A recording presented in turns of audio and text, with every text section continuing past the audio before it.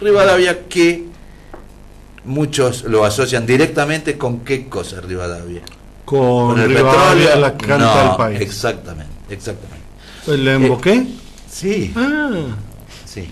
Y por eso y por otras razones, y también por el aniversario de Rivadavia, es que eh, le pedimos, y gentilmente él ha aceptado la invitación, al concejal Francisco Novelo, para charlar un ratito de este aniversario y de qué es lo que ocurrió. Porque nosotros, si a usted la memoria lo acompaña, hablamos alguna vez en relación al festival, al lindo festival Rivadavia Canta al País, pero hablamos de la parte menos linda, que tenía que ver con algunos numeritos que no coincidían, con algunas entradas que parecía que habían sido otorgadas de manera graciosa y graciable, y es por eso que vamos a hablar ahora mismo con Francisco Novelo, concejal del departamento Rivadavia. ¿Cómo le va, Francisco? Buen día.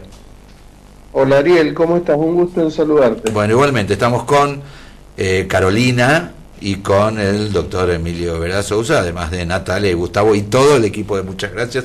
Atentos para charlar un ratito a propósito de este, ¿qué aniversario es del departamento, Francisco?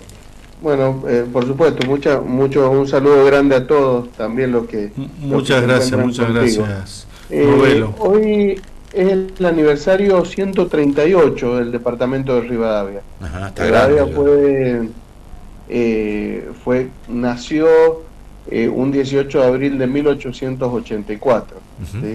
Eh, la verdad que un departamento con mucha historia. estaba pensando hace ratito cuando, cuando decías esto, ¿qué piensa uno cuando dice Rivadavia? Sí, bueno, es muy distinto a, a, uno que tiene la localidad acá, que ha nacido y, claro. la verdad que llevo 43 años en esta tierra, eh, pero sí, vitivinícola, petrolera eh, y esfuerzo y laburo, eh, son, son mis palabras, digo, en lo que pienso en este momento. bien, pues Rivadavia que bueno, es un departamento importante en cuanto a dimensiones y en cuanto a actividad, como bien lo señala Francisco Novelo. Sí, y aparte del petróleo, que son esas cosas que de las que en Mendoza prácticamente no se habla, ¿vio que no se habla? Eh, eh Vizcacheras está en Rivadavia, ¿sí es así? ¿Estoy en lo correcto? Exactamente. Claro, bueno, una zona exactamente. exactamente. Eh, nosotros tenemos, bueno, eh, fíjate vos lo, lo, lo que es la ley de petróleo de Mendoza del año 96, perdón, de de coparticipación del año 96 de Mendoza, eh, castiga a Rivadavia eh, por ser el primer productor de petróleo. Entonces, como Rivadavia recibía regalías petrolíferas de ese momento, eh, la ley de coparticipación le otorga a nuestro departamento algunos coeficientes negativos que hace que se lo, se lo castigue en términos de coparticipación. Hoy, hoy, veintipico de años luego de esta de la, de la sanción de esa ley, Rivadavia es uno de los últimos productores. ¿sí? Nosotros hemos perdido la primera producción porque se han ido sumando otros departamentos como, eh, bueno, Luján, Tupungato, Malargüe, eh, que ahora son más productores que Rivadavia. Sí. Pero como la ley es de aquellos años, Rivadavia sigue siendo castigada en términos de coparticipación. Como si, como si siguiera extrayendo la misma cantidad y volumen que antes. Como si fuera extrayendo la misma cantidad de, petróleo.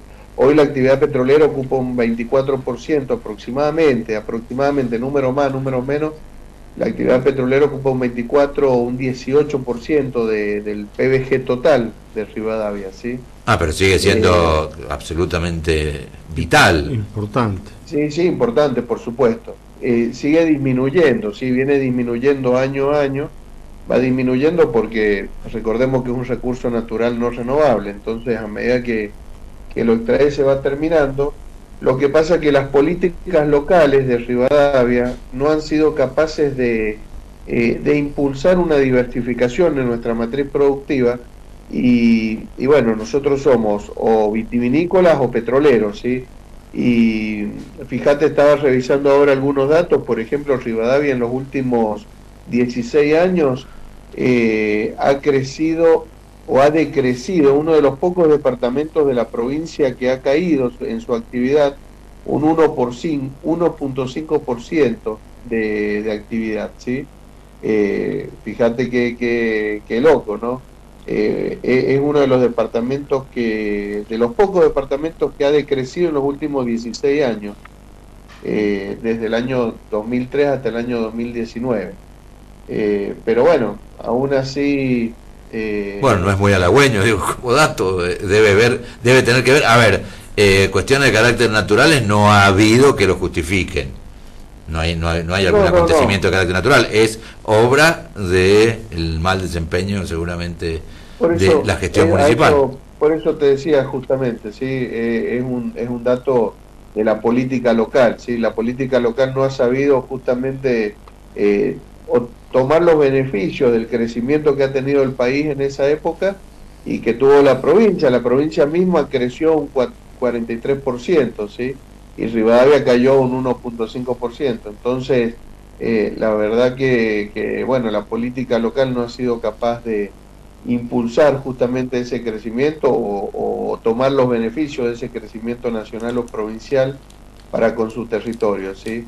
Eh, Hay otras eh, agroindustrias también en el departamento. Hay agroindustrias, por supuesto. La, la principal actividad productiva, productiva, ¿sí? porque la petrolífera solamente es extractiva. claro, tenemos, es extractiva, pero la principal actividad productiva es justamente la agroindustria, de la mano fuertemente de la vitivinicultura. ¿sí? Nosotros somos uno de, los, de los principales productores vitivinícolas del, del país. Eh, son, son cifras muy, muy importantes las que... ¿Y usted con ese apellido no ha detectado producción de de aceite de oliva? Hay producción de aceite de oliva, pero la producción de aceite de oliva en la provincia en general ha venido decayendo. Eh, tenemos, por supuesto, tenemos aceiteras acá en Rivadavia, en el departamento, pero bueno, en términos de, producción y de volumen agregados, son más importantes los vitivinícolas. ¿Y, Le contamos a la gente, perdóname, que Novelo se le dice a la extracción del primer aceite de oliva eh, de la cosecha. Y bueno, Don Novelo debe, tener alguna plantita ahí en el fondo. tenemos, tenemos algunas plantas y de hecho el aceite de oliva que consumimos es eh, eh, son con plantas de, de, nuestra producción propia. Es la primera extracción, así se le llama. La, primera extracción. La fiesta del novelo es como la fiesta de la vendimia, que es la fiesta del primer aceite que se prensa en frío. Que, es el más costoso de todo. El más costoso, el más sabroso, el más denso. El más fuerte. Bueno, estamos eh, conversando con el concejal Francisco Novelo de Rivadavia. Estamos hablando un poco de este 138 aniversario y de la actualidad de Rivadavia que nos bueno, sorprendemos con algunos datos que no son para nada halagüeños. Claro, yo quisiera preguntarle justo en ese sentido qué datos por ahí más de impacto positivo nos puede mencionar porque realmente no eran tan no son tan alentadores de los que venimos hablando. Sí, no, lamentablemente no, eso en términos económicos, pero bueno, Rivadavia es una ciudad con mucha historia, un departamento con mucha historia. Mucho arte, muchos cantores, mucha cultura de Rivadavia. Claro, claro. Eh, recordemos que, el, por ejemplo, el, inventor del rayo láser, el, el físico Gaviola, ¿sí? Eh, acá en Rivadavia, en nuestro departamento, en la, ciudad, en la, ciudad, de la reducción, ¿sí? un físico internacional de la talla de, de Albert Einstein, por ejemplo, con, con quien tenía mucho contacto. Eh, nosotros, bueno, Rivadavia por, por la zona donde está ubicada, eh, ha sido y ha producido eh, importantes beneficios, digamos, para toda la provincia de Mendoza, con sus industrias y demás, que bueno, si bien a lo largo del tiempo, lamentablemente, yo le echo la culpa a las políticas locales, justamente las políticas solamente de Rivadavia se han ido cayendo, pero en los años 50 era un, uno de los polos económicos más importantes que tenía la provincia de la provincia de Mendoza, ¿sí? Eh, hay cifras muy muy alentadoras en este sentido. También tenemos a, algún director que algún director de cine, ¿sí? Que triunfó en Hollywood, por ejemplo, el señor Hugo Fregoneste, que ha, fallecido y que eh, trabajó en los principales estudios de Hollywood de esa época, ¿sí? Eh, en, los que uno, yo por lo menos conozco solamente eh, por ver una película y ver el sello, como la Warner Bros., la Metro Golden Mayer y demás, ¿sí? también tenemos algún algún deportista olímpico, ¿sí? un corredor, un corredor olímpico como era el señor Ernesto Contreras, quien se llamaba el, Cóndor de América, le decían, sí. Eh, que falleció hace poco, lamentablemente falleció hace, poco. Y el deporte andan bien en, en básquet también. Sí, sí, actualmente sí, por supuesto. Hoy eh, el, ese, bueno, eh, es, un club que, que ha andado bien en las, en las ligas mendocinas, sí, sí. Bien, Francisco, y a ver, nos enteramos también que a pesar de todo lo bueno y tal vez no ser el cumpleaños el día más feliz para hablar, pero eh, supimos que eh, usted, bueno, trabajó el tema del festival Rivadavia Canta al País, con eso empezábamos la nota, y que alguna vez lo entrevistamos a propósito de que usted había detectado algunas irregularidades y las había denunciado en el último, en la última eh, presentación de este festival. Eh, así, así fue. ¿Cómo eh, lamentablemente, eh, lamentablemente, como les comentaba, la política local no solo no ha sabido qué hacer con la economía, sino uno de los eventos culturales o el evento cultural más importante que tenemos en Rivadavia, también ha metido por allí eh, algunas de sus, de sus malos hábitos, ¿sí? Y es con esto que cuando yo llegué como concejal del departamento, eh, el, Ejecutivo tiene la obligación de enviarnos al Consejo Deliberante una rendición de cuentas. Esto es blanquear cuál es la plata que ingresó y cuál es la plata que eh, se utilizó para, eh, para hacer el festival. Dentro de esas rendiciones de cuentas, la verdad que se observaron muchísimos procedimientos administrativos que estaban mal hechos, ¿sí? Eh, procedimientos administrativos incorrectos que fueron denunciados al Tribunal de Cuentas, acompañados por supuesto por toda la oposición del departamento. Eh, y bueno, el Tribunal de Cuentas falló, falló hace un mes aproximadamente, y muchos de esos puntos que nosotros habíamos denunciado eh, fueron vistos por el Tribunal de Cuentas y ha sancionado a los funcionarios intervinientes esto es aplicarles, aplicarles alguna multa. Eh, lo que digo siempre yo, eh, la gestión de Rivadavia se jactan por ser transparente o por ser una gestión transparente y la verdad que esta transparencia queda solamente en las palabras cuando ahondas en algún expediente como este que yo estoy citando. Claro, y de hecho, de hecho que desde el consejo, desde el consejo tuvieron que hacer alguna acción de carácter judicial para obtener estos datos, ¿no? Eh, en este caso no, en este caso no porque eh, ellos tienen la obligación de presentar una rendición de cuentas al, a este Consejo Deliberante. Hay una, una ordenanza sancionada a este respecto eh, y bueno, ellos nos mandan la, la rendición de cuentas. Ah, entonces eso, sí lo mandaron sin, sin que hubiese ninguna, ninguna acción judicial. Exactamente. Lo llamativo es que el resto de los concejales, por supuesto de, del oficialismo, y que yo esto lo, denuncio públicamente mucho porque la verdad que nuestro Consejo Deliberante parece una escribanía, solamente ingresan los expedientes, se sientan en un sillón los concejales, le levantan la mano y sale aprobado, y esto fue lo que hicieron justamente con este con esta rendición, que no había ojos para verla porque estaba muy mal hecha, y, los y salió aprobada por el Consejo Deliberante porque nos ganan siempre 6 a 4, ¿sí? 6 a 4 y, salió justamente aprobada. A eso, ¿cuántos son los, cuánto, cuánto, cómo se compone el cuerpo del Consejo Deliberante?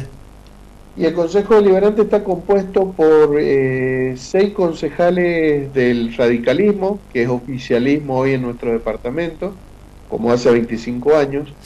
Eh, y se compone por tres concejales más de la oposición, que seríamos justicialistas, y un concejal más de la oposición, que sería del partido intransigente. Son 6 a 4.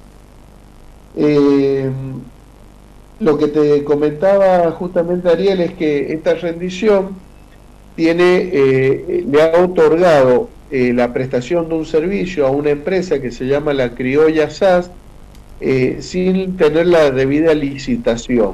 ¿sí? Ellos contratan a una empresa sin licitar. Esto, digo, es de jardín de infantes. Todos sabemos que cualquier empresa que tiene que contratar el Estado tiene que haber un proceso de selección. Este proceso de selección puede llegar a ser eh, una licitación pública, una licitación privada, un concurso de precios, lo que sea. ¿sí? En este caso no había ningún concurso, ninguna, ninguna de estas eh, de estos eh, motivos para seleccionar una empresa. ¿sí? Por eso lo denunciamos y justamente el Tribunal de Cuentas lo encontró y han contratado una empresa para la venta de entradas. ¿sí? Esta empresa era la que hacía la venta online de entradas, la Criolla S.A. Sí. Eh, y bueno, esa empresa justamente fue contratada sin licitación. Y luego encontramos que eh, el Estado, el municipio, le pagó un millón y medio de pesos, para serte exacto, el fallo del tribunal dice un millón quinientos cincuenta y seis mil setecientos cincuenta y siete pesos, y se lo pagó y no recibió una factura como, como, como debe hacerse en cualquier transacción con fondos públicos. ¿sí? Eh, es decir, eh, esta gestión transparente, que se jacta de ser transparente y que no se le cae el transparente de la boca, ¿viste? A veces pensás que no lo vas a ver de tan transparente que son. Claro. Eh, contratan una empresa sin, sin licitación y le pagan un millón y medio de pesos, un millón y medio de pesos sin una factura. Así que... Pero, perdón, el, millón y medio de pesos este para qué? ¿Para administrar la venta online? Exactamente, que corresponde al 5% del total de entradas vendidas. ¿sí? Ah, pero qué lindo, qué lindo negocio. Eh, Imagínate, eh, sabiendo que la empresa le eh, no, no pagó ningún impuesto porque no hizo factura, no pagó IVA, no pagó ingreso bruto, no pagó nada, eh, y bueno, y el Estado municipal, el Estado de Rivadavia, ha estado en ese, eh, detrás de todo eso, ¿sí? Entonces, bueno, eso es lo lamentable, digamos que son los dos hechos más, más eh, sí, elocuentes de, claro, de, la mala administración. Y que justamente por eso lo sanciona al secretario de gobierno, al secretario de Hacienda y al contador municipal, el Tribunal de Cuentas. Eh, luego hay un montón de irregularidades, ¿viste? como el no cumplimiento de contratos, de plazos, esto de la venta que a mí me llama la atención porque el Tribunal de Cuentas eh, le permite, y lo dice el fallo del tribunal, eh, sacar 19.000 entradas, 19.432 entradas, eh, a personas que justamente trabajaban en esta empresa sin ningún costo y, bueno el Tribunal de Cuentas se quedó con la explicación que les dio que le dieron los funcionarios de que esas entradas las usaban para regalo, para los discapacitados, para los plomos eh, y que para los mozos, por ejemplo. ¿Y qué cantidad de entradas son? Recuérdenos. 19.430. Ah, qué manera de ver. La mitad del plomo y mozo. Exactamente. La mitad del, de, los de los invitados son gente que, que tendría que pagar la entrada. Claro, exactamente. Esa, esas entradas, para recordarle a la audiencia, fueron retiradas por cinco personas que trabajaban en esta empresa y nunca nos dijeron o nos mostraron algún protocolo o procedimiento para que estas personas retiraran las entradas y eh, que nos demostraran que se las habían dado justamente a los discapacitados, a los plomos, a los funcionarios que habían ido gratuitos. Eh, nunca lo, demostraron, pero bueno, el Tribunal de Cuentas en este caso dice que hay un incumplimiento, eh, hay deficiencias en el control, deficiencias en el control, pero bueno, no lo sanciona, por ese punto no lo sanciona al, al municipio. Bien, bueno, bueno, son las determinaciones que toma Rivadavia, no este solo le canta al país, le canta a lo que hacen negocio con a costilla de todo el resto de los rivadavienses. La, verdad que es, es, lamentable que tomen esta determinación, pero bueno, parece que han sido después de tantos años que tienen, eh, digamos, eh, que hacen estas rendiciones, porque si las rendiciones anteriores son así como estas, viste, eh, la verdad que es, tremendo. te, mandan rendiciones sin facturas, sin licitaciones, y los concejales, como son oficialistas, viste, solamente se sientan en la banca y levantan la mano, parece, parece una escribanía nuestro consejo, eso es lamentable. Bien, bueno, estamos hablando con Francisco Novelo, concejal de Rivadavia. Y, a propósito de la oposición, que son ustedes, eh, ¿tienen algún proyecto superador? ¿Cómo, es eh, la actividad que tienen ustedes dentro del Consejo? Mira, eh, nosotros desde la oposición y, y muchos, muchos proyectos por allí, no sé si impulsados, pero sí trabajados en forma conjunta, en algunos casos, por ejemplo, con, con Gabriela Lizana, que fue candidata a intendente, viste, cuando yo fui candidato a concejal, eh, con Gabriela y otros actores importantes de, de, la oposición, no solamente los concejales, hemos impulsado una serie de proyectos justamente para, por ejemplo, diversificar la matriz productiva del departamento, y esto es crear con el producido de las regalías petrolíferas un fondo de fondos prestables para el sistema productivo de Rivadavia y para aquellos emprendedores que quieran eh, iniciar actividades nuevas, ¿sí? Eh, actividades que eh, hay, hay, que debatirlo, es lo que yo quería cuando presentamos esto, que veamos hacia dónde tenemos que orientar la matriz productiva del departamento. Esto es el sector TIC, el sector energético, el sector audiovisual, ¿sí? la economía naranja.